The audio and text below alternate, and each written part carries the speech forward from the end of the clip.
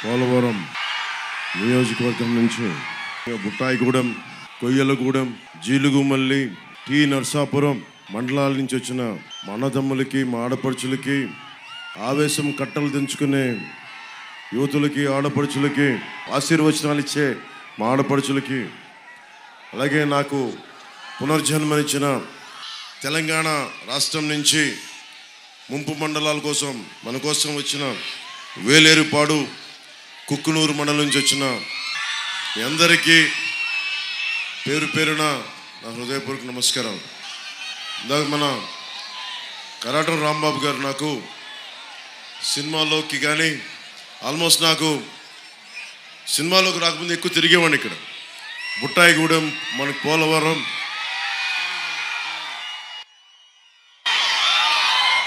ఇక్కడ ఎక్కువ తిరిగేవాడిని. ఈ అడవులు అంటే సరదా కాబట్టి పచ్చటి చెట్లు ఎలా ఉంటాయి జంతువులు ఎలా ఉంటాయి తిరిగేవాడిని ఇక్కడంతా నాకు కరాటం రాంబాబు గారు అలా పరిచయం నాకు. ఆయన అప్పటి నుంచి ఇప్పటికి కూడా ఏజెన్సీ టైగర్ అని పిలుస్తారు. ఇందాక ఆయన చెప్పినట్టుగా పోలవరం ఆయన నాయనమ్మ గారి ఇల్లు నాయనమ్మ గారి ఊరు. ఈ ప్రాంతానికి ఆయన కుటుంబం ఎంతో చేశారు. హాస్పిటల్స్ కానీ కో డిస్ట్రిక్ట్ కోఆపరేటివ్ బ్యాంక్స్ కానీ ఆయన ముఖ్యంగా గిరిజన ప్రజానీకానికి ఆయన చేసిన సేవలు మర్చిపోలేవు. ఎక్కడ కష్టం ఉన్నా రాంబాబు అన్న ఒక మాట మాట్లాడితే అర్ధరాత్రి అపరాత్రి లేకుండా బయటకు వచ్చి నిలబడే వ్యక్తి. రెండు వేల పంతొమ్మిదిలో కూడా నాకు ఆశీర్వచనాలు ఇచ్చారు. రెండు వేల పద్నాలుగు నుంచి పార్టీ పెట్టినప్పటి నుంచి కూడా ఆయనకి నేను చిన్నప్పటి నుంచి వ్యక్తిగతంగా ఇష్టం నాకు. ఆయన నాకు ఎప్పుడు భుజం తట్టి బాగుండాలని కోరుకునే వ్యక్తి. మొట్టమొదటిసారి క్రియాశీలక రాజకీయాలు కాంగ్రెస్ వాదిగా ఉండి క్రియాశీలకంగా కాంగ్రెస్ పార్టీలోనే ఉంటూ వామపక్ష ఉద్యమాల నుంచి క్రియాశీలక కాంగ్రెస్ పార్టీ రాజకీయాలకు వెళ్ళి ఈ రోజున మొట్టమొదటిసారి ఆయన ఇంట్లో కూర్చొని పడకుర్చీలో కూర్చొని సలహాలు ఇవ్వాల్సిన వయసులో ఆయన వచ్చి నిజంగా ఈ సభకి ఒక కిరీటం లాగా ఉంది ఆయన వచ్చిన విధానం. అంటే పోలవరం ముందుకు కదిలింది అంటే రాజశేఖర రెడ్డి గారి హయాంలో మొట్టమొదటిసారిగా ఆయన కుటుంబం నుంచి ఆయన నుంచి పోలవరం ప్రాజెక్టుకి నూట పది ఎకరాలు స్వచ్ఛందంగా ఇచ్చిన వ్యక్తి కరటం రాంబాబు గారు. ఈ రోజున ఇన్ని వేల ఎకరాలు అందరూ స్వచ్ఛందంగా ఇచ్చారంటే ఆయన మొట్టమొదటి వేసిన అడుగు. ఈ రోజున ఎప్పుడు బయటికి వచ్చేవారు కాదు ఆయన. క్రియాశీలక రాజకీయాల నుంచి నేను రాను కళ్యాణ్. నన్ను ఎప్పుడు కళ్యాణ్ అని పిలుస్తారు నేను రాను కళ్యాణ్ గారు నేను ఎప్పుడు రాను. ఒకటే బాధ ఉండిపోయింది. నా కోసం గిరిజన ప్రాంతాల నుంచి అందరూ కూడా ఒక్క నా మాట చెప్తే అందరూ కదిలిపోయి నేను నూట పది ఎకరాలు ఇచ్చి నేను చాలా మందిని వేలాది మందిని కన్విన్స్ చేశాను నేను. అరే పోలవరం ప్రాజెక్టు గ్రామ మనకి రాష్ట్రానికి మంచిది. విద్యుత్తుకు కానీ అటు మిగతా రాష్ట్రాలకు కానీ మొత్తం రాష్ట్రం మొత్తం పోలవరం ప్రాజెక్టు పూర్తయితే దాదాపు డైరెక్ట్గా ముప్పై లక్షల ఎకరాలు. అలా కాకుండా అటు ఎటు సైడ్ మన రాయలసీమకు కూడా పోలవరం నిండితేనే రాయలసీమకి మిగతా ప్రాజెక్టు నుంచి నీళ్ళు వెళ్తాయి. ఏది చూసుకున్నా సరే పోలవరం కీలకమైపోయింది. అలాంటి పోలవరం ఈ రోజున దాదాపు లక్ష అరవై వేల మంది నిర్వాసితులుగా గుర్తించాం ఈ రోజున. గుర్తించిన కేవలం ఏడు వేల మందికి మాత్రమే సురక్షిత ప్రాంతాలకు తరలించారు. మిగతా వాళ్ళందరికీ ఇల్లు బాకీలు లేకుండా సరైన వస్తువులు లేకుండా డ్రైనేజీ లేని టౌన్షిప్స్లో సరైన వస్తువులు లేని టౌన్షిప్ టౌన్షిప్స్లో చాలా ఇబ్బంది పడుతూ ఉన్నారు. పోయిన రెండు వేల పద్దెనిమిదిలో కూడా ముంపు మండలాల కోసం ఏడు ముంపు మండలాల కోసం నేను మీటింగ్ పెట్టాను. నేను వచ్చి నిలబడ్డాను.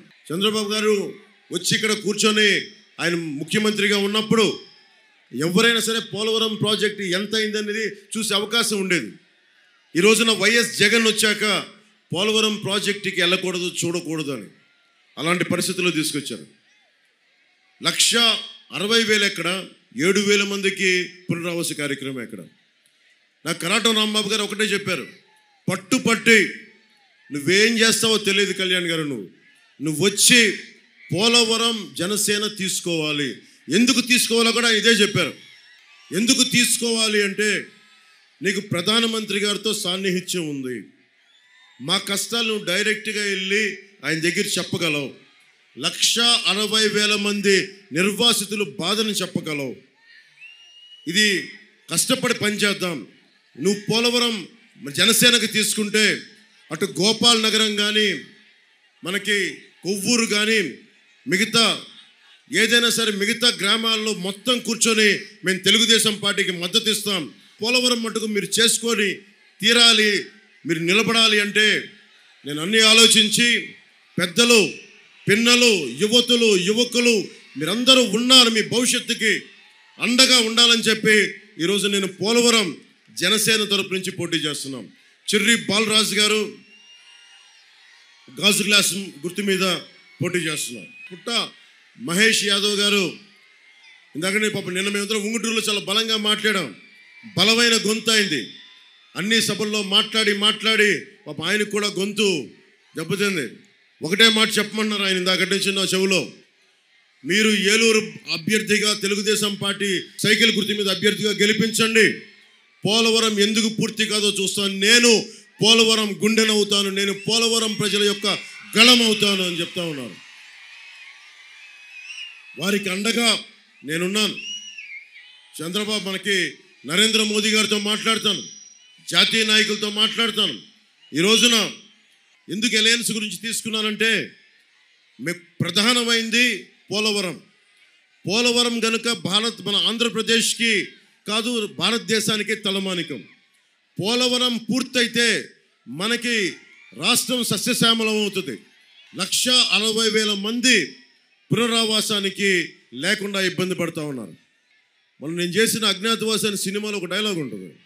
డైలాగ్ ఏంటంటే మనకి చిన్నపాటి సౌకర్యం ఒక కుర్చీ కావాలంటేనే ఓ పచ్చని చెట్టును కొట్టాల్సి వస్తుంది. దానిని ముక్కలుగా చేసి ఎండబెట్టి కూర్చొని కుర్చీ చేయాల్సి వస్తుంది. అంటే మనం చిన్నపాటి సౌకర్యం వెనక చాలా విధ్వంసం ఉంటుంది. ఆ విధ్వంసం ఎంత అనేది చాలా కష్టమైన పరిస్థితి. పబ్లిక్ పాలసీలో అదే కష్టమైంది. ఈ రోజున మనం ఎందుకు పోలవరం నుంచి నేను పిలుపునిస్తున్నాను? మొత్తం ఆంధ్రప్రదేశ్ రాష్ట్రానికానికి ప్రజలకి.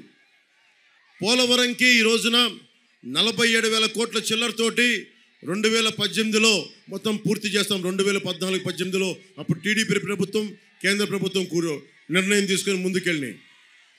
దాని నిజంగా యాభై శాతం అయిపోయింది. యాభై శాతం అయిపోయిన తర్వాత నిజంగా వైఎస్ జగన్ వచ్చి ఎన్ని కథలు చెప్పాడో ఇక్కడ. గిరిజనుల్ని నమ్మించాడు. అతను వస్తే అద్భుతం జరిగిపోద్ది. మొత్తం పూర్తి చేస్తాం.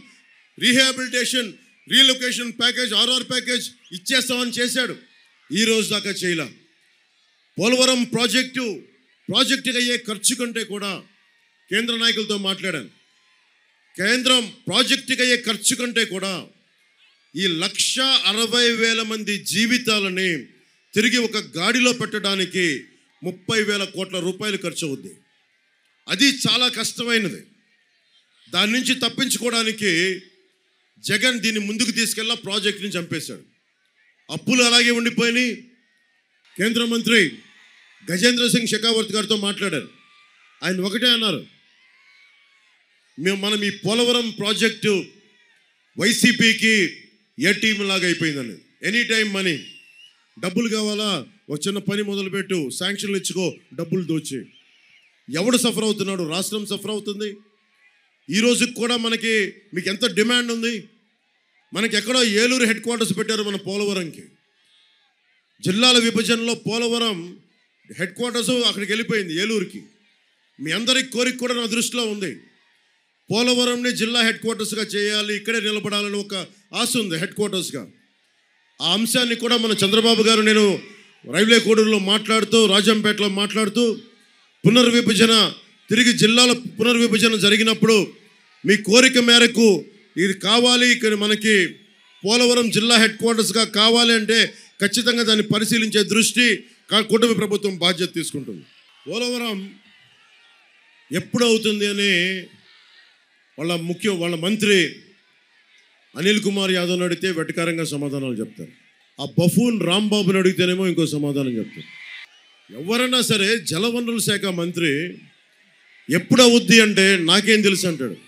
అలాంటప్పుడు మంత్రిత్వ శాఖ తీసుకోవడం దేనికి? మినిస్ట్రీ తీసుకోవడం దేనికి? వీళ్ళు డ్యాన్సులు ప్రాక్టీసులు చేయడానిక? డ్యాన్సులు ప్రాక్టీసులు చేస్తారు. ఇది చాలా బాధ కలిగించేది. మీరు ఎలాంటి ప్రభుత్వాన్ని ఎన్నుకున్నారు మీరు అందరూ రెండు వేల పంతొమ్మిదిలో ఎలాంటి ప్రభుత్వాన్ని ఎన్నుకున్నారు? మీరు ఓట్లు వేసేసారు ఇదే రెండు వేల పద్దెనిమిదిలో నేను పోలవరం అన్ని మండలాలకి ముంపు మండలాలకి అన్ని మండలాలకి వెళ్తే ఎన్ని గ్రామాలు శిథిలమైపోయినాయి.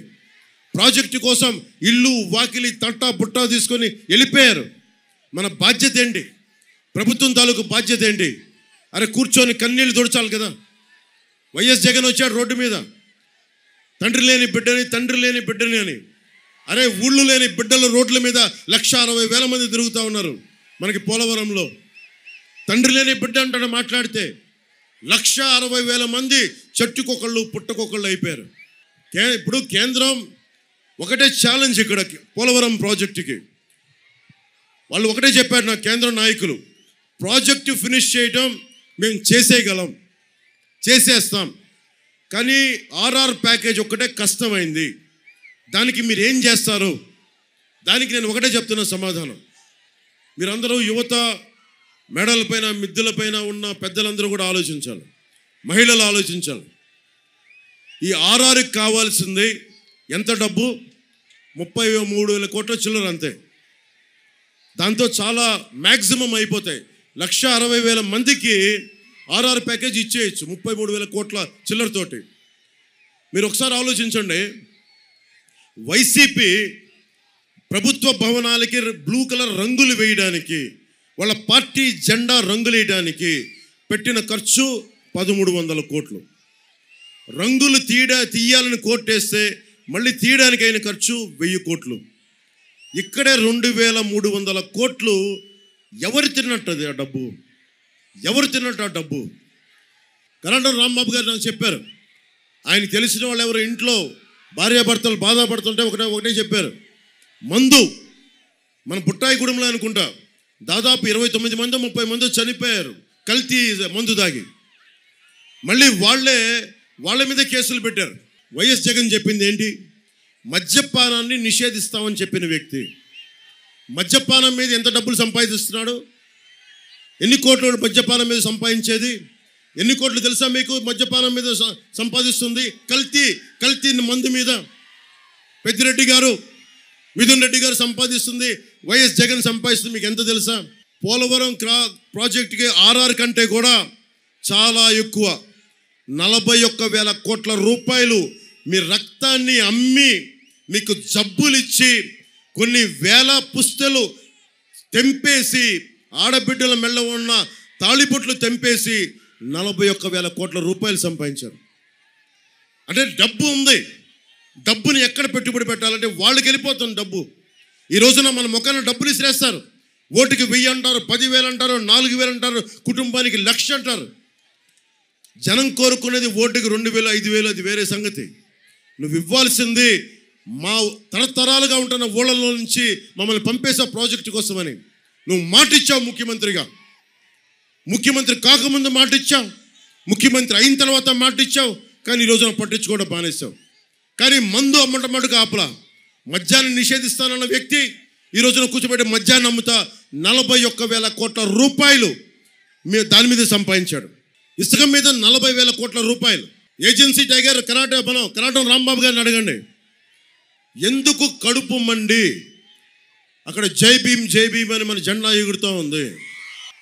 తూర్పుగోదావరి జిల్లా నుంచి ఒక దళిత కులానికి చెందిన యువకుడు వేధింపులు గురై ప్రెసిడెంట్ భారత ప్రెసిడెంట్గా కోవిందరామ్ గారికి ఒకటే మెసేజ్ పెట్టాడు అబ్బాయి.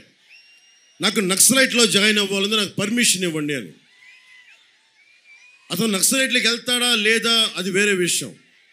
ఎందుకు వచ్చింది కోపం అంటే వ్యవస్థలు గనక పని చేయకపోతే వ్యవస్థలు గనక పని చేయకపోతే మంత్రులు కానీ ముఖ్యమంత్రులు కానీ అధికారులు కానీ వ్యవస్థలు పని చే సహకరించకపోతే మనిషి ప్రత్యామ్నాయ మార్గాలు వెతుకుతాడు.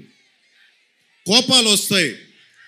ఒకడికి కోపం వస్తే కోపం అది ఒక సమూహానికి కోపం వస్తే ఉద్యమం అవుతుంది అది. ఎందుకు మనుషులు తిరగబడతారు? ఎందుకు రోడ్ల మీదకి వస్తారు? ఈ రోజున ఈ రోజున అలయన్స్ అనేది ఒకళ్ళు కాదు. ఒక సమూహం అది. వైసీపీ అనేది ఒకటి వచ్చి అడ్డగోలుగా దోచేస్తూ ఉన్నారు. దోపిడీ చేస్తూ ఉన్నారు. మీరు మీరు ఆలోచించండి. ప్రకృతి వనరులు ఎవరివి? ఈ చెట్టు పుట్ట ఎవరిది? ఈ నేల నీరు ఎవరిది? మనది. హక్కు మనది. జై భీమ్ జై భీమ్ అని జెండా పెట్టుకుంటే సరిపోదు. అన్యాయం జరిగినప్పుడు మానవ హక్కులు ఉల్లంఘన జరిగినప్పుడు ఎదురు తిరగబడకపోతే అన్యాయాన్ని ప్రశ్నించకపోతే మనం ఎన్ని జెండాలు మోసినా ఎన్ని ఎజెండాలు చెప్పినా ముందుకెళ్ళలేము. ఐదు సంవత్సరాలకు ఒక సమయం మీకు. ఐదే ఐదు సంవత్సరాలకి తిరగబడే సమయం ఒకటి వస్తుంది. పదమూడు రోజుల ఎన్నికలు. మే పదమూడుకి ఎన్నికలు వచ్చేస్తాయి. మే పదమూడున మీరు ఏం చేయాలి? మీ భవిష్యత్తును మీరు నిర్ణయించుకోవాలి. నేను నా మనసులో ఒకటే మాట ఉంది. గజేంద్ర సింగ్ షెకావత్ గారు చెప్పినప్పుడు పోలవరం ప్రాజెక్ట్ని కింద మీద పడి అందరు కలిస్తే పూర్తి చేసేయచ్చు. కానీ మోస్ట్ ఛాలెంజింగ్ ప్రాక్టికల్గా చెప్తున్నా ఛాలెంజ్ ఏంటంటే ఆర్ఆర్ ప్యాకేజీ ఛాలెంజ్.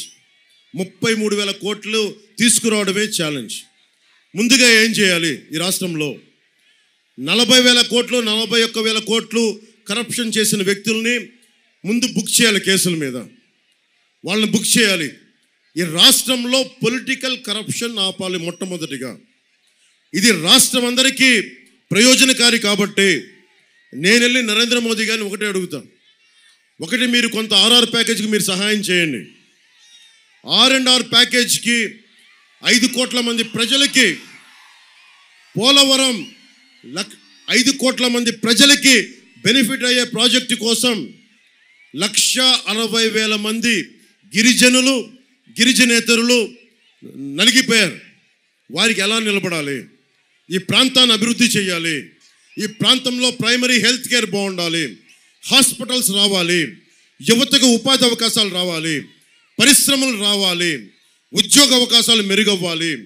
ఏదైనా కాంపిటేటివ్ ఎగ్జామ్స్కి వెళ్ళాలంటే మీకు ట్రైనింగ్ సెంటర్స్ కావాలి. ఇవన్నీ కావాలంటే నేను కూటమి ప్రభుత్వం తరపు నుంచి చంద్రబాబు గారికి కూడా ఇదే సభ నుంచి నేను విన్నపం చేస్తున్నా. పుట్ట మహేష్ యాదవ్ గారిని కూడా ఇక్కడున్న తెలుగుదేశం నాయకులందరికీ కూడా నేను తెలియజేసుకుంటా ఉన్నాను ఐదు కోట్ల మందికి ఉపయోగపడే ప్రాజెక్టు కాబట్టి నా మనందరి బాధ్యత ముప్పై మూడు వేల కోట్లని కేంద్రం కొంత సహాయం చేయమని చెప్దాం. నేను ప్రధానమంత్రి గారిని ఆర్థిస్తాను అభ్యర్థిస్తాను. నేను స్పెషల్ సెస్ పెట్టాలి. నిజంగా పోలవరం ప్రాజెక్టు పూర్తవ్వాలంటే ఎవరిదో జగన్ చేసిన దోపిడీకి నలభై ఒక్క వేల కోట్లు జగన్ చేసిన దోపిడీకి మధ్యంలో నలభై వేల కోట్లు ఇసుకలో చేసిన దోపిడీకి ఎవరు కట్టాలి? బాధ్యత ఐదు కోట్ల మంది ప్రజలు కట్టాలి. దాంట్లో ముందస్తుగా నేను చెప్తున్నాను. ప్రభుత్వం ఏ రోజైనా సరే కూటమి ప్రభుత్వం రాగానే నేను చంద్రబాబు గారు కిరణ్ కుమార్ రెడ్డి గారు మిగతా చాలా పెద్ద నాయకులు అందరూ ఉన్నారు. నేనైతే ఒక ఇంకా ఎమ్మెల్యేగా కూడా చేయని నాయకుడిని మీ అందరి ఆశీస్సులు అదృ మీకు దీవెన్లు పిఠాపురం నుంచి భారీ మెజారిటీతో గెలవబోతా ఉన్నాం. పోలవరం గళ వినిపిస్తాం. పోలవరం కోసం నేను సభలో గొంతెత్తుతా. మన చిర్రి బాలరాజు గారు కాదంటారు నేను కరాటు రాంబాబు గారు జనసేన బాలరాజు గారు అంటూ ఉన్నారు. ఆయన నేను ఇద్దరం కలిసి పుట్ట మహేష్ గారు పార్లమెంట్లో పుట్ట మహేష్ యాదవ్ గారు పార్లమెంట్లో మాట్లాడతారు. ఈయన నేను మన అసెంబ్లీలో మాట్లాడతాం. ఐదు కోట్ల మంది ప్రజలకి ఒకటే విన్నవించుకుంటాం. కేంద్రంలో ప్రధానమంత్రి గారికి నేను విన్నవించుకుంటా వ్యక్తిగతంగా పార్టీ పరంగా. ప్రధానమంత్రి గారిని చెప్తా. నేను దీనికి పరిష్కారం ఏంటి? ముప్పై మూడు వేల కోట్ల పైచీలకు ఆర్ అండ్ ఆర్ ప్యాకేజ్కి పరిష్కారం ఏంటి? ప్రతి ఆంధ్రుడు ఈ బాధ్యత మొయ్యాలి తప్పదు. దానికి వంతుగా మీరు కనుక Polavaram R and R cess ఒకటి విధిస్తే తప్ప ఎందుకంటే అరవై రూపాయల మందు అరవై రూపాయల కోట ఉండే మందు రెండు వందల రూపాయలకి మనం కొంటున్నప్పుడు ఒక్క సంవత్సరం ఒక్క సంవత్సరం అందరం చాలా మైన్యూట్ పర్సెంట్ లక్ష అరవై వేల మంది పైచిలుకు గిరిజనులేతరులకి గిరిజనులకి అడ్డ అన్నగా నిలబడాల్సిన అవసరం ఉంది. దానికోసం ఐదు కోట్ల మంది ఆంధ్రులు బాధ్యత తీసుకోవాలంటే ప్రభుత్వం వైసీపీ ప్రభుత్వం చేసిన తప్పుకి అందరం బాధ్యత తీసుకోవాలి తప్పదు. అందరం కూడా ఒక చిన్నపాటి సెస్ అంటే అందరం కలిసి ఒక నయా పైసా ఒక పైసా మనం కొనే ప్రతి వస్తువులో కూడా ఒక పైసా మనం కూర్చొని నిర్వాసితులకు ఇవ్వాలని ప్రతిపాదన నేను ఈ రోజున ఇక్కడి నుంచి పంపిస్తా ఉన్నాను. ఇక్కడి నుంచి అడుగుతున్నాం. దాంట్లో భాగంగా ఎందుకంటే ఇది కేంద్ర ప్రభుత్వం డబ్బులు ఖర్చు పెట్టేసింది. జగన్ దగ్గరికి వెళ్ళిపోయినాయి డబ్బులు. వాళ్ళు కూర్చున్న మెగా ఇంజనీరింగ్కి డబ్బులు వెళ్ళిపోయినాయి. మార్చేసుకున్నారు నవయుగా నుంచి మెగాకి వెళ్ళిపోయింది. డబ్బులు వెళ్ళిపోయినాయి. డబ్బులు పెద్ద పెద్ద వాళ్ళు అయిపోయారు. జగన్కి డబ్బులు వెళ్ళిపోయినాయి. ఏటీఎం అయిపోయింది వాళ్ళకి. కానీ నలిగిపోతుంది. లక్ష అరవై వేల మంది గిరిజన ప్రజలు గిరిజనేతరులు వీళ్ళ కోసం నిలబడాలి అంటే ఐదు కోట్ల మంది ప్రజలు ఆంధ్రులు బాధ్యత తీసుకోవాలి. ముంపు మండలాల కోసం ప్రత్యేకించి తెలంగాణ రాష్ట్రం జై తెలంగాణ నినాదం ఇచ్చి మీరు రాష్ట్రం సాధించుకున్న తర్వాత కూడా పోలవరం కోసం ఏడు తెలంగాణ మండలాలు ఆంధ్రలో ఆంధ్రాలో కలిసిపోయినాయి. మీ మీద నేను ప్రత్యేక దృష్టి పెడతాను. మర్చిపోకున్నది మీకు మాటిస్తున్నాను ఈ రోజున. అలాగే నలభై రూపాయలు మందు మనం రెండు వందల రూపాయలు కొనడానికి సిద్ధపడిపోయాం. పోలవరం నిజంగా నిర్వాసితుల్ని బయటికి పడేయాలంటే అందరం కలిసి పైసా పైసా చొప్పున వేసుకుంటే ఒక్క ఆరు నెలల్లో ముప్పై మూడు వేల కోట్లు తీసుకొచ్చి అందరినీ బయట పడేయగలం అందరినీ బయట గట్టు మీద తీసుకురాగలం. ఆ బాధ్యత జనసేన ఎందుకు నాకు కరాటో రాంబాబు గారు చెప్పారు. ఈ బాధ్యత మీరు తీసుకోవాలి. నా జీవితాన్ని పణంగా పెట్టి ఇన్ని వేల మందిని ప్రభావితం చేశాను. వారి మీద గౌరవంతో చెప్తున్నాను ఈ రోజున. ప్రత్యేకమైన సెస్ వేసి ఐదు కోట్ల మంది ప్రజలు నాతో సహా నేనైతే ఈరోజు చెప్తున్నా. పోలవరం నిర్వాసితుల కోసం నా వంతు సహాయంగా సెస్సే గనుక వచ్చే మనకి రాబోతున్న ప్రభుత్వం ముందుకు తీసుకెళ్తుంది. తీసుకెళ్ళేలా చేస్తాం. ఐదు కోట్ల మందికి ఆయన పోలవరం కోసం ఆయన నూట పది ఎకరాలు ఎలా ఇచ్చేశారో ఆయన కుటుంబం నూట పది ఎకరాలు ఎలా సమర్పించుకుందో నేను ఈరోజు చెప్తున్నా. నాకు ఏడుపు మన కోసం నలిగిపోతున్నాం. ఆ ఏడుపు గిరిజనులు గిరిజనులు చూస్తూ ఉంటే ఇళ్ళలో కూర్చొని ఇల్లు వాకిల్ లేక తట్ట బుట్ట తీసుకొని నలిగిపోతా ఉంటే నేను చెప్తున్నాను ఈ రోజున నా సొంత డబ్బు కోటి రూపాయలు పోలవరం నిర్వాసితులకి ముందు నాతో మొదలు పెడుతున్నాను. ముప్పై మూడు వేల కోట్లలో ముప్పై మూడు వేల కోట్ల రూపాయలు కావాలి. నేను ఇంత ప్రజాభిమానం ఇచ్చాను. మీకోసం ముప్పై మూడు వేల కోట్లు నేను కోటి రూపాయలు నేను ఇస్తా ఉన్నాను ఈ రోజున. ప్రభుత్వ ట్రెజరీకి ప్రభుత్వ ఖజానాకి పోలవరం మనకి నిర్వాసితుల దీనికోసం కోటి రూపాయలు నేనే ఇస్తాను దానికోసం మిగతా అందరూ కూడా ఐదు కోట్ల మంది ప్రజలు ఏదో ఒకటి మీరు ఆలోచించుకోండి. ఆ రోజుకి చంద్రబాబు గారితో చెప్తాను. అందరం కలిసి తలా నేను కోటి రూపాయలు ఇస్తే మీరు ఐదు పైసలు ఇవ్వండి. కుదిరితే పైసా ఇవ్వండి చాలు. మొత్తం తీరిపోతాయి కష్టాలు. ఇది పోలవరంని అత్యంత తక్కువ సమయంలో ఛాలెంజ్ ఇరవై ఏడుకి పూర్తి చేసేద్దాం పోలవరాన్ని. పోలవరంకి నీళ్ళు రావాల్సిందే. సాగునీరు అవసరాలు తీరాల్సిందే. మిగతా ప్రాజెక్టులు పూర్తి కావాల్సిందే. ఛాలెంజ్గా తీసుకుందాం. నేను అన్ని భుజాల మీద పెట్టుకున్నా నాకు తెలుసు బరువని తెలియని వ్యక్తినేం కాదు. చెగివారాన్ని ఇష్టపడేవాడిని. భగీరథ మహర్షిని ఎందుకు పెట్టుకున్నాం మన గుండెల్లో? ఎక్కడో ఉన్న గంగని తీసుకొచ్చాడు ఆయన. అలాంటి భగీరథ మహర్షిని స్ఫూర్తిగా తీసుకుందాం. పోలవరాన్ని పూర్తి చేసే బాధ్యత ముందుండి నడిపించే బాధ్యత జనసేన తెలుగుదేశం భారతీయ జనతా పార్టీ కూటమి ప్రభుత్వం తీసుకుంటుంది బాధ్యత. నేను మీ గళం అవుతాను జగన్ ఎంత నీచత్వానికి ఒడిగడతాడంటే ఇప్పుడు పొలాలు మనందరం మొన్న నన్ను అడిగారు నన్ను. రాజీవ్ సర్దేశాయ్ అని ఒక ఎన్డీటీవీ ఛానల్ అనుకుంటా ఆయన నన్ను అడిగాడు. మీ వల్ల కాపు సామాజిక వర్గం మీరు ప్రభావితం చేస్తారా అంటే "నేను- ఒకటే చెప్పాను నన్ను మనందరినీ నీతో నాతో సహా మనందరం ఏ కులంలో పుట్టాలి మనకెవరికి చాయిస్ లేదు. ఏ ప్రాంతంలో పుట్టాలి చాయిస్ లేదు. కానీ ఎ- మనిషిగా ఎలా ఉండాలా లేదా అనేది అయితే మటుకు చాయిస్ మనకు ఉంది నేను జాషువా చెప్పిన విశ్వనరుణ్ణి నేను. నేను అన్నీ బాగుండాలని కోరుకుంటాను అలాంటిది Chintalapudi lift irrigation project Jagan ఆప్ చేశాడు. దేనికోసం ఆప్ చేశాడు అంటే అక్కడంతా కూర్చొని ఆ పొలాలు కొన్ని పొలాలు కొంతమంది అన్ని అన్ని కులాల వారి ఉంటాయి. అది కొన్ని కులాలకి చెందకూడదని చెప్పి లిఫ్ట్ ఇరిగేషన్ ఆపేశాడు. లిఫ్ట్ ఇరిగేషన్ చింతలపూడి ప్రాజెక్ట్ ఆపేశాడు. భగీరథ మహర్షి ఈ కులానికి రావాలి ఈ కులానికి రాకూడదు అనుకున్న సకల మానవులకి దాహం తీరాలి అని చెప్పి గంగని తీసుకొచ్చాడు. కానీ ఇది ఈ వ్యక్తి క్యాపిటల్ మార్చేశాడు పోలవరం పూర్తి చేయడు చింతలపూడి ఏమో కూర్చోబెట్టి కొంతమందికి వెళ్తుంది మిగతా వాళ్ళకి రాదని చెప్పి చింతలపూడిని ఆఫ్ చేశాడు. ఏది చేయి కూర్చోబెట్టి ప్రతి ఒక్కరి మీద కుల కక్ష. కిర్లంపూడి సభలో మాట్లాడితే అందరు నన్ను అడుగుతారు. కూర్చోబెట్టి నన్ను కూర్చొని తెగ తిడతా ఉంటారు. కాపు సామాజిక వర్గానికి చెందిన ఎమ్మెల్యేలు తెగ తిడతా ఉంటారు నన్ను. కిర్లంపూడి సభలో చెప్పాను మీరు ఏదైనా సరే ఒక ఒక మాట అనుకునేటప్పుడు పోలవరం ప్రాజెక్ట్ పూర్తి చేస్తాం నిలబడాలి నేను చెప్పినప్పుడు నాకు తెలుసు అది ప్రాణానికి తెగిపోయేంత ప్రాణాలు మెడకాయ తెగిపోయేంత బాధ్యతను తెలుసు.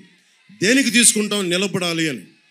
దశాబ్దం ఒక మాట చెప్పానంటే నిలబడిపోయా. రెండు చోట్ల ఓడిపోయినా నిలబడిపోయా. అలాగే ఎంఆర్పిఎస్ ఉద్యమం ఉంది. వర్గీకరణ.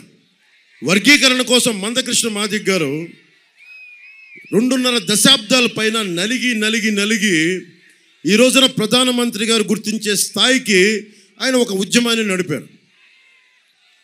అలాగే కాపు రిజర్వేషన్ ఉద్యమం ఉందనుకోండి. ఒకటి ప్రారంభిస్తే బాధ్యత ఎత్తుకుంటే దానికోసం జరగండి జరగనివ్వకపోతే అది వేరే విషయం. నిలబడాలి.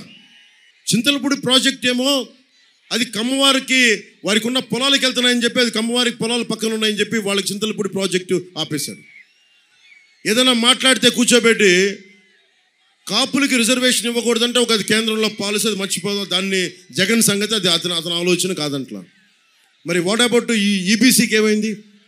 ఎకనామికల్లీ బ్యాక్వర్డ్ క్లాస్ ఆర్థికంగా వెనకబడ్డ కాపులకి ఎందుకు నువ్వు చేయలే ఎందుకు మాట్లాడలా మన కాపు సామాజిక వర్గం నాయకులు కూడా ఇదే మాట్లాడారు. వైసీపీలో కాపు సామాజిక వర్గానికి నాయకులకు కూడా.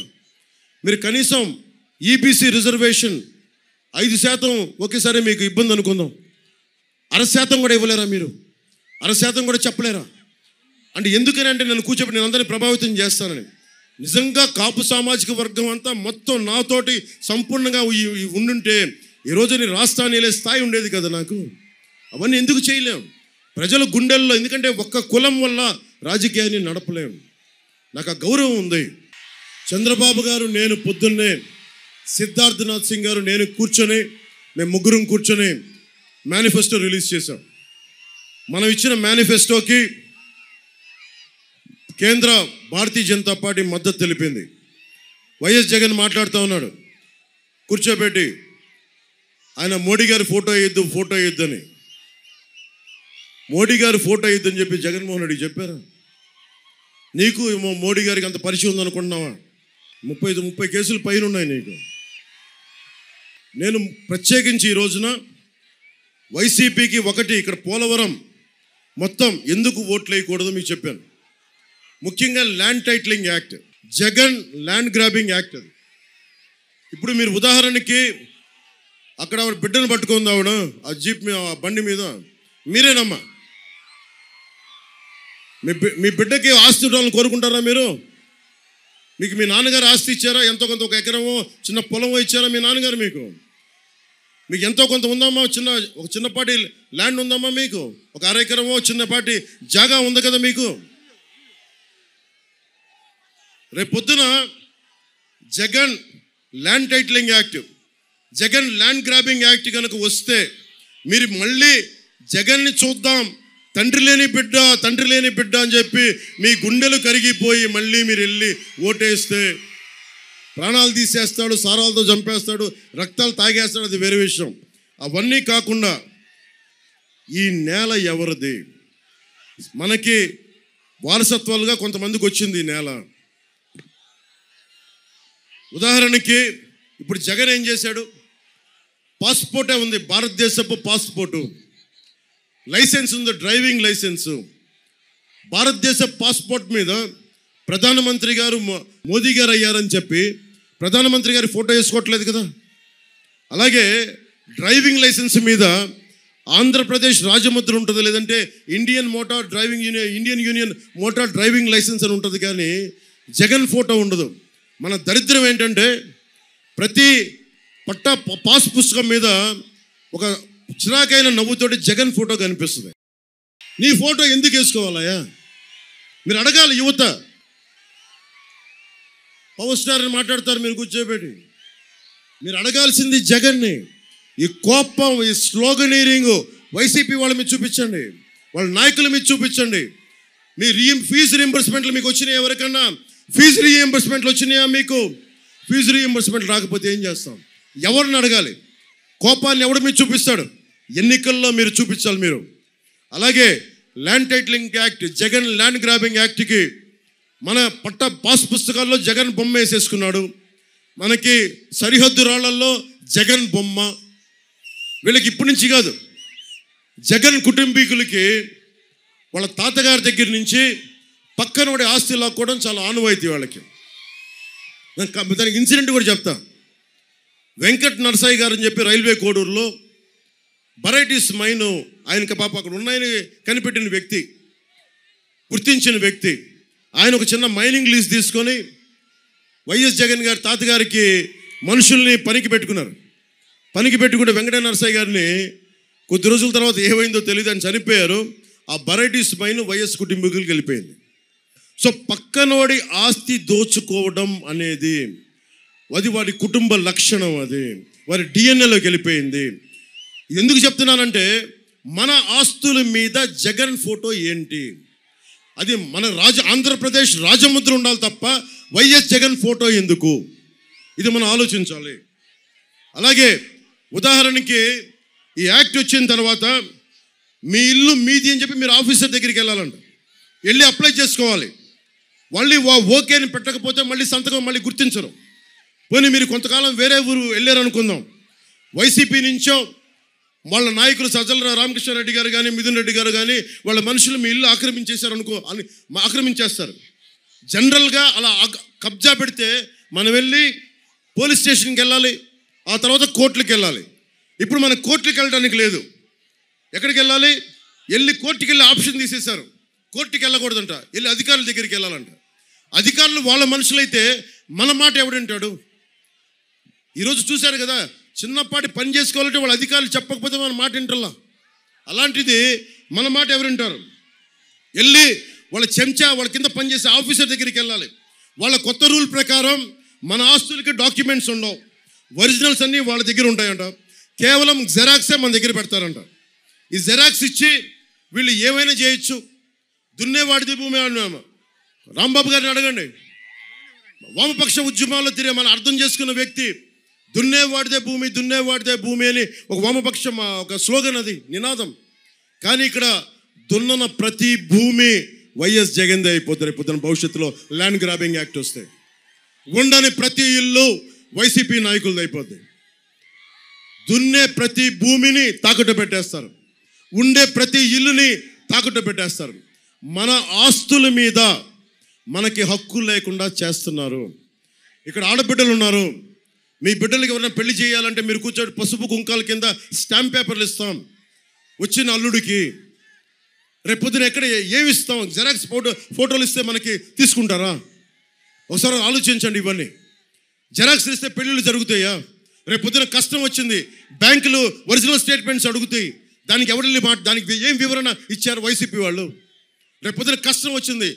పక్కనకి వెళ్ళి మనం కూర్చోబెట్టి తనఖా పెట్టాలి అంటే ఆ వడ్డీ వ్యాపారి దగ్గరికి వెళ్ళాలి అంటే మనం తెలిసిన వాడి దగ్గరికి వెళ్ళాలంటే ఒరిజినల్ డాక్యుమెంట్స్ అడుగుతారు. ఒరిజినల్ డాక్యుమెంట్స్ లేకుండా ఫోటో స్టాట్ ఇస్తారంటే ఎవరు తీసుకుంటారు? సో దీన్ని దృష్టిలో పెట్టుకొని ఇది ఒక అరాచక ప్రభుత్వం ఇది.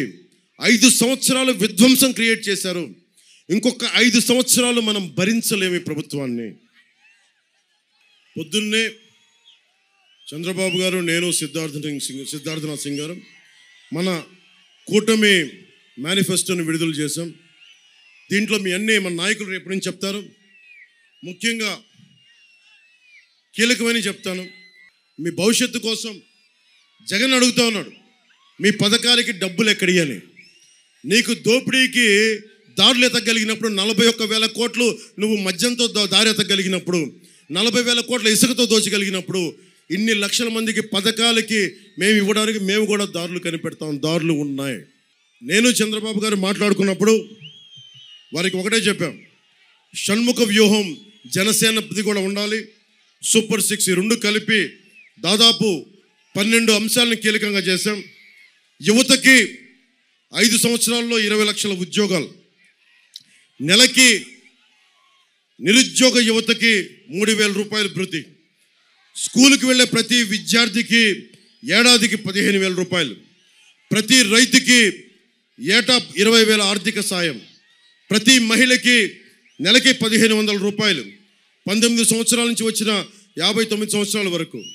ప్రతి ఇంటికి ముఖ్యంగా మహిళలు కష్టాలు తెలిసాం కాబట్టి ఏడాదికి మూడు ఉచిత గ్యాస్ సిలిండర్లు. మహిళలకి ఉచిత బస్సు ప్రయాణం. అలాగే సూపర్ సిక్స్ షణ్ముఖ వ్యూహంలో భాగంగా ఇంటింటికి కుళాయి అంటే ప్రధానమంత్రి పథకం ఉంది. దాని ఆ పథకం కింద ప్రతి ఇంటికి రక్షిత నీరు ప్రతి ఇంటికి కుళాయి కనెక్షన్ పేదలని నేను కోరుకున్నా. ఇది షణ్ముఖ వ్యూహంలో నేను చెప్పింది. పేదలని సంపన్నులుగా చేసే దిశగా పబ్లిక్ ప్రైవేట్ పీపుల్ పార్ట్నర్షిప్లో పథకాలు. అంటే ఉదాహరణకి మనం ఒక పది లక్షల రూపాయలు ఒక కొత్త స్టార్టప్ పెట్టుకుంటానన్నా చిన్న వ్యాపారం చేసుకుంటానన్నా లేదంటే సబ్సిడీ కావాలన్నా పెట్టుబడి అన్నా ఇది ఈ పథకం కింద యువతకి పది మందికి ఉపాధి కల్పించే ఒక వ్యాపారం పెట్టుకుంటే సబ్సిడీ కింద దాదాపు ఒక పది లక్షల రూపాయలు ప్రభుత్వం అందజేస్తుంది. మెగా డిఈసి కోసం ప్రతి సంవత్సరం జాబ్ క్యాలెండర్ని విడుదల చేస్తాం. ఉత్తరాంధ్ర కోస్తా రాయలసీమ ప్రాంతాల అభివృద్ధికి ఉద్యోగ కల్పనకి ప్రత్యేకమైన ఎంప్లాయ్మెంట్ జోన్లు ఏర్పాటు చేస్తాం. ముఖ్యంగా మీరు ఎంట్రన్స్ మీకు సివిల్స్కి ప్రిపేర్ అవ్వాలనుకున్నా లేదంటే స్టేట్ ఎగ్జామ్స్కి ప్రిపేర్ అవ్వాలనుకున్నా మీకోసం డిజిటల్ లైబ్రరీని ఏర్పాటు చేస్తాం. బీసీలకి రాజకీయ ప్రాధాన్యత. స్థానిక సంస్థల్లోనూ నామినేటెడ్ పదవుల్లోనూ ముప్పై నాలుగు శాతం రిజర్వేషన్ చట్టసభల్లో బీసీలకి ముప్పై మూడు శాతం రిజర్వేషన్ కోసం తీర్మానం చేసి కేంద్రానికి పంపిస్తాం. తక్కువ ముఖ్యంగా బీసీ కులాల్లో సంఖ్యాబలం లేని కులాలకి నామినేషన్ తోటి ఒక నామినేట్ చేసే పోటీ చేయలేని వర్గాలకి నామినేషన్ల ద్వారా రాజకీయ భాగస్వామ్యం కల్పిస్తాం. ముఖ్యంగా బీసీల ఆర్థిక అభివృద్ధికి నూట నలభై కులాల పైన ఉన్నాయి. వాటికి సంబంధించి దామాషా ప్రకారం కార్పొరేషన్లకు నిధులు ఇస్తాం. అలాగే యాదవ కురబ సమాజానికి చేనేత ఉత్పత్తులపై ఉద్యమ చేనేత ఉత్ప ఉత్పత్తులపై జిఎస్టీని రీఎంబర్స్ చేస్తాం. నాయి బ్రాహ్మణ సమాజానికి దేవాలయాల్లో పనిచేసే వారికి పాతిక వేల గౌరవ వేతనం కల్పిస్తాం. గీత కార్మికులకి మద్యం షాపుల్లో పది శాతం రిజర్వేషన్ ఉంటుంది. వడ్డేరు కులాలకి క్వారీల్లో పదిహేను శాతం రిజర్వేషన్ ఉంటుంది. రజక రజక సామాజిక వర్గానికి దోబీ ఘాట్ల నిర్మాణాలకి ప్రోత్సాహం విద్యుత్ ఛార్జీలు రాయితీ. మత్స్యకారులకి ఇరవై వేల రూపాయలు విరామ సమయంలో ఇరవై ఇరవై వేల రూపాయల ఆర్థిక సాయం. జీవో టూ వన్ సెవెన్ రద్దు చేస్తాం. ఇలా చాలా ఉన్నాయి.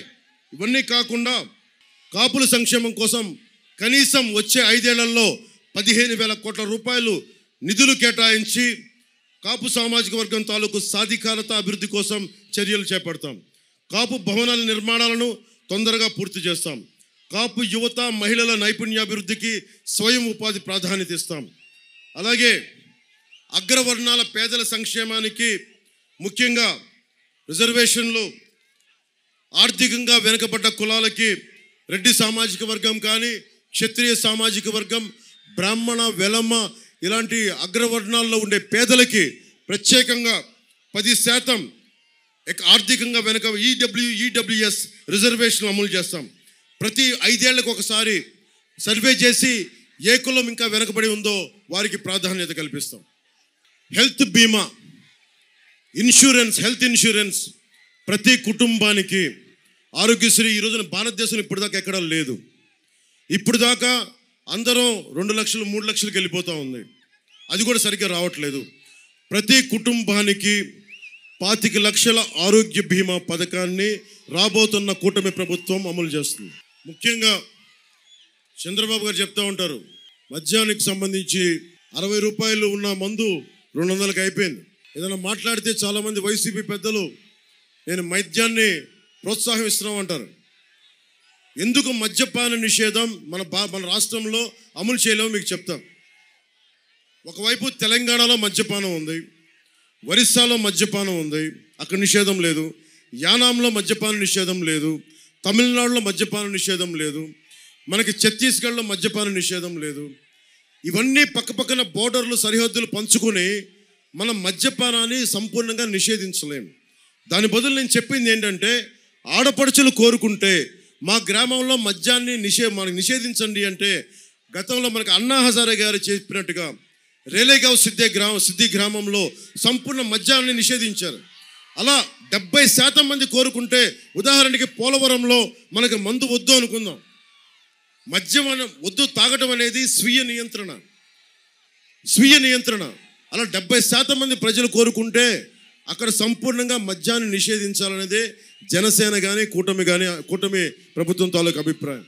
అందుకనే మద్యాన్ని తిరిగి పాత ధరలకే తీసుకురావాలి.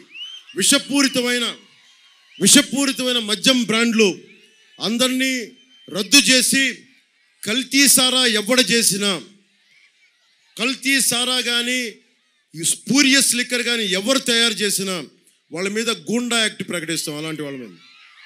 పంచాయతీలకి దాదాపు ఎనిమిది వేల కోట్ల రూపాయలు జగన్ తీసేసుకున్నాడు పంచాయతీ నిధుల్ని. మేము వచ్చి ఆర్థిక సంఘం ఇచ్చిన విధు నిధుల్ని నేరుగా కూటమి ప్రభుత్వం పంచాయతీలకే అందిస్తాం. పంచాయతీరాజ్ వ్యవస్థకి పూర్వ వైభవం కల్పిస్తాం. స్థానిక పాలనకు ఊతమిస్తాం. పంచాయతీరాజ్ ప్రాజెక్టుల ప్రతిపాదనల కోసం బడ్జెట్లో ఐదు శాతం కేటాయిస్తాం. న్యాయవాదుల కోసం దాదాపు స్టైఫండ్ నెలకి పదివేల రూపాయలు జూనియర్ న్యాయవాదులకి శిక్షణకి ప్రత్యేకమైన ట్రైనింగ్ ఏర్పాటు చేస్తాం. అగ్రిగోల్డ్ ఆస్తులు అమ్మి బాధితులకి న్యాయం జరిగేలా చర్యలు తీసుకుంటాం. ముఖ్యంగా పరిశ్రమలు రావాలి. ముఖ్యంగా మనకి పోలవరం కానీ ఇక్కడ మనకి ఉద్యాన పంటలు అభివృద్ధి చేయాలి ఫుడ్ ప్రాసెసింగ్ యూనిట్స్ రావాలి వాటన్నిటినీ చేసి పెడతాం. ఇవన్నీ మీకు భవిష్యత్తులో వచ్చే రెండు రోజుల్లో మన ముఖ్య అంశాలు నేను చదివాను. కానీ ఇవన్నీ కూడా మీకు రేపటి నుంచి మీరందరూ ఇక్కడ డౌన్లోడ్ చేసుకోండి ఇది. మీరు డౌన్లోడ్ చేసుకొని ప్రతి అంశాన్ని క్షుణ్ణంగా చదవండి. మీకు నేను పరిష్కారం ఇచ్చాను.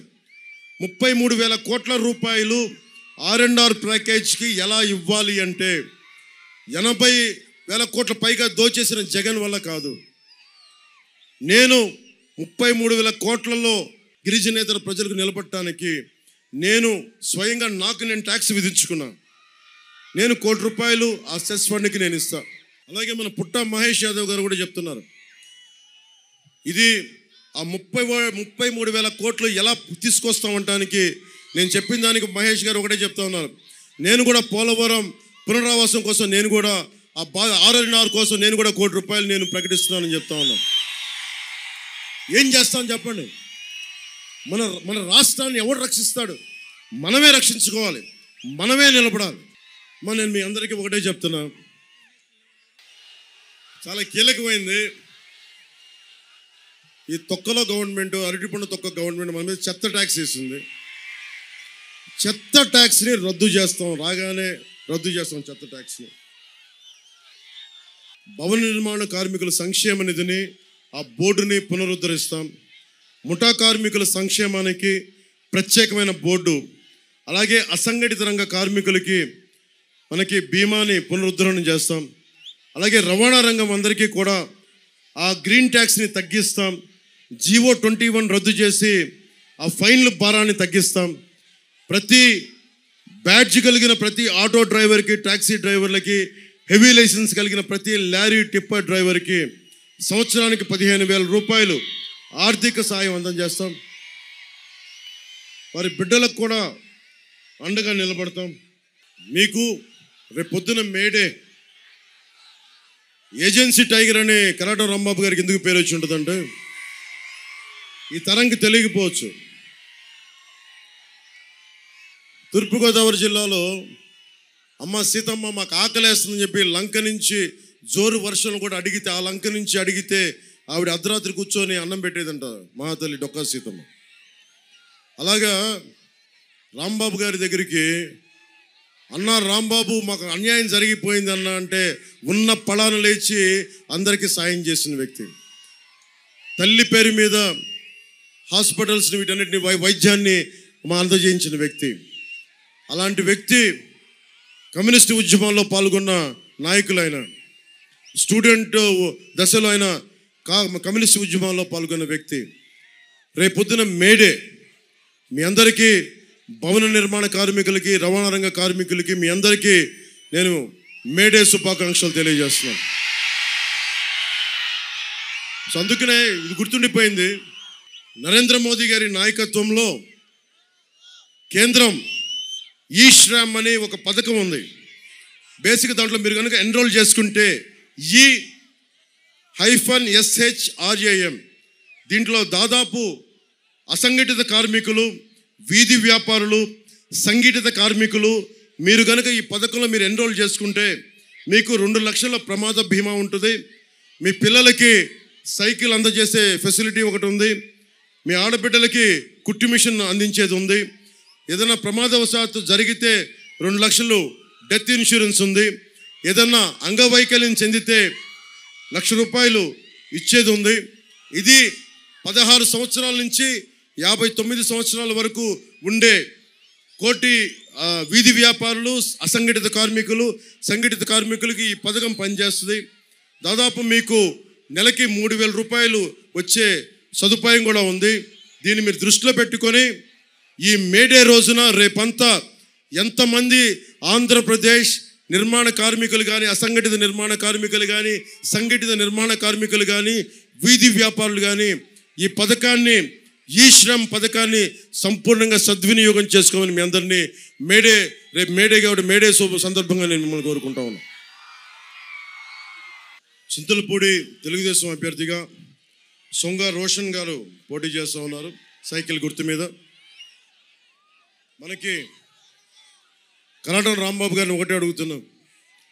మీరు అడిగారు నన్ను పోలవరం జనసేనకు ఉండాలి మేమందరం కష్టపడుతున్న బాధ్యత అని చెప్పారు. అలాగే ఆయన ఇంకొక మాట ఇచ్చారు. ఎక్కడైతే ఆయన బలం ఉందో చింతలపూడి కానీ గోపాల్పురం కానీ సంపూర్ణంగా నేను ఆ అభ్యర్థుల విజయానికి నా వంతు కృషి నేను చేస్తానని చెప్పారు ఆయనకి. సందర్భంగా కరాటం రాంబాబు గారికి చేతులెత్తి మనస్ఫూర్తిగా నా ధన్యవాదాలు తెలియజేసుకుంటాను.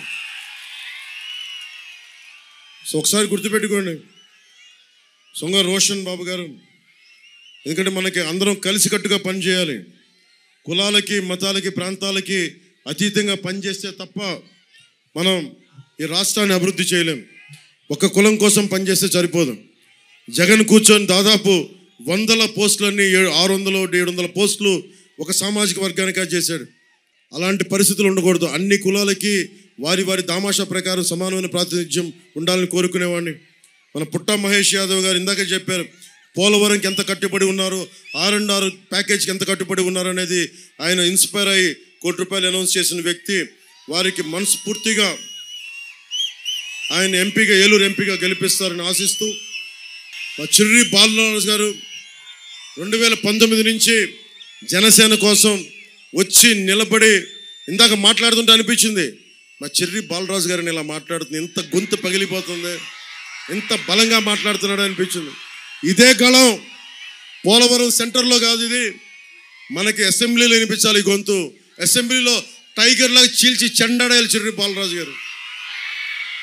జనసేన నాయకులు చిన్నబాబు గారికి అలాగే మండలపు టీడీపీ నాయకులు మండలపు రవి గారికి బోరగం శ్రీనివాస్ గారికి టీడీపీ నాయకులు గన్ని వీరాంజనేయులు గారికి టీడీపీ నాయకులు మొడియం శ్రీనివాస్ గారు టీడీపీ నాయకులు శ్రీమతి నిర్మలా కిషోర్ భారతీయ జనతా పార్టీ నాయకులు శ్రీ కె రామకృష్ణ గారికి భారతీయ జనతా పార్టీ నాయకులు కరాటం సాయి గారు జనసేన నాయకులు కడమంగు రవి గారు జనసేన నాయకులు శ్రీమతి రావి సౌజన్య గారు జనసేన నాయకులు శ్రీ మహేష్ గారు జనసేన నాయకులు ఎక్స్ఎమ్మెల్యే గంటా మురళి గారు కూడా నాతో ఉన్నారు. వారికి కూడా నా ప్రత్యేక నమస్కారాలు తెలియజేస్తూ కరాట రాంబాబు గారు చెప్తా కాంగ్రెస్ ప్రభుత్వం ఉన్నప్పుడు చింతలపూడిని గంటా మురళి గారు కరాట రాంబాబు గారు శాంక్షన్ చేయించారు. అది ఎక్కడి దాకా వెళ్తుంది? పా మన మైలవరం దాకా వెళ్తుంది ఆ ప్రాజెక్టు. అంటే ఒకళ్ళు ప్రారంభిస్తే ప్రాంతాలకి కులాలకు అతీతంగా వెళ్తాడానికి ఇదే నేను నేను నిదర్శనం. ఒకడు ఆపేస్తే ఇక్కడ ఉన్న వాళ్ళంతా నిర్మాణాత్మకమైన వ్యక్తులు కన్స్ట్రక్టివ్ వ్యక్తులు. జగన్ అనే వ్యక్తి డిస్ట్రక్టివ్ వ్యక్తి. రాగానే నిర్మాణాలతో నిర్మాణాలు కూల్చేసిన వ్యక్తి నిర్మించిన వ్యక్తి కాదు. మనం నిర్మాణాలతో మొదలు పెడదాం. ఏ నిర్మాణాలతో మొదలు పెడదాం? మెగా డిఎస్సి నోటిఫికేషన్తో మీ భవిష్యత్తుని నిర్మించకుండా వెళ్దాం.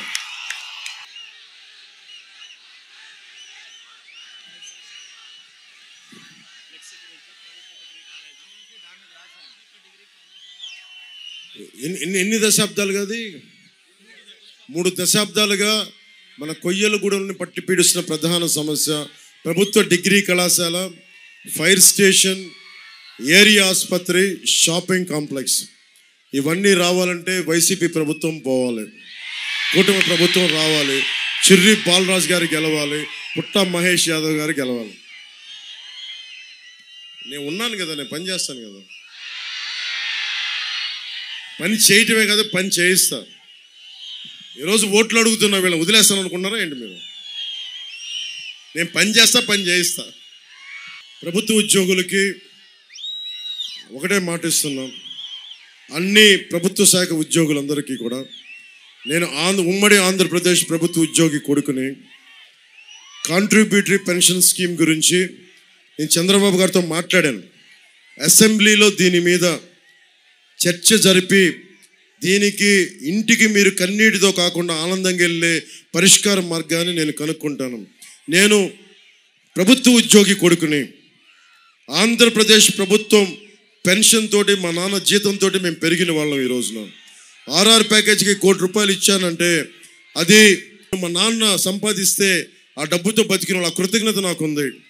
మీ టీఏలు కానీ డిఏలు కానీ మీ సరెండర్ లీవ్స్ కానీ ఏదన్నా సరే నెలకొచ్చేలాగా బాధ్యత కుటుంబ ప్రభుత్వం తీసుకుంటుంది.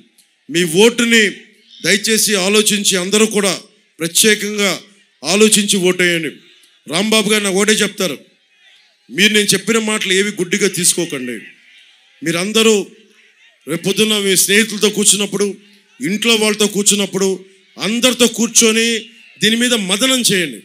అంతర్మదనం చేయండి. మేధో మదనం చేయండి. మా ఒక నిర్ణయానికి రండి. కూటమికి అభ్యర్థులకి ఓటేయండి. వైసీపీ జగన్ ప్రభుత్వాన్ని నేలమట్టం చేయండి పోలవరం నీళ్ళల్లో కలిపేయండి. మీ అందరికీ అపూర్వమైన అవకాశం వచ్చిన మీ అందరికీ పేరు పేరున ధన్యవాదాలు తెలుపుకుంటూ మీ అందరికీ హృదయపూర్వక ధన్యవాదాలు తెలుపుకుంటూ గాజు గ్లాస్ గుర్తు మీద మన చిర్రి బాలరాజు గారికి సైకిల్ గుర్తు మీద మన పుట్ట మహేష్ యాదవ్ గారికి సింగర్ రోషన్ కుమార్ చింతలపూడి నియోజకవర్గం సైకిల్ గుర్తు మీద వారికి మనస్ఫూర్తిగా మీరు ఓట్లేసి మీ భవిష్యత్తు కోసం నిలబడి నేను మాటిస్తున్నాను. దశాబ్దంగా దశాబ్ద కాలంగా మీరు హారతిస్తుంటే నేను సరదా పాడిన గుర్తుపెట్టుకోండి. నా మీద బాధ్యత అది. మీరు కాల్ చేసుకుంటారు అరచేయలు పచ్చబొట్లు పడుచుకుంటారు గుండెల మీద. అదే సరదాగా తీసుకున్న భయం వేస్తుంది మీరు హారతిస్తూ ఉంటే. వీళ్ళు ఏదో ఒక రోజు నేను తప్పు చేస్తే వీళ్ళు నన్ను కింద నలిపేస్తారని తెలిసి నాకు భయం కూడా ఉంటుంది. కానీ మీ ఇంట్లో ఒకడిని నేను మీ స్నేహితుల్లో ఒకడిని మీ కుటుంబ సభ్యుల్లో ఒకడిని నేను నిలబడతా. నేను మీకు అండగా ఉంటానని తెలియజేసుకుంటూ మీరు నా కోసం నేను మీకోసం జై టీడీపీ జై బీజేపీ జై జై జనసేన. జై Hind. We'll be right back.